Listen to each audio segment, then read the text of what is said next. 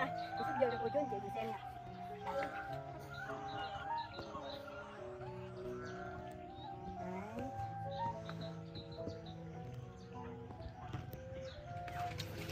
Đây mình cột cái lợp thì mình cột như vậy nè. Đó mình lấy cộng một bình mình cột lại. Do là bằng có một tay à, nó hơi rung chú anh chị thông cảm nha. Đây còn em chuột của mình thì đây. Bây giờ mình gỡ còn một bình để mình lấy cái lợp lên. Nó hùng dữ lắm.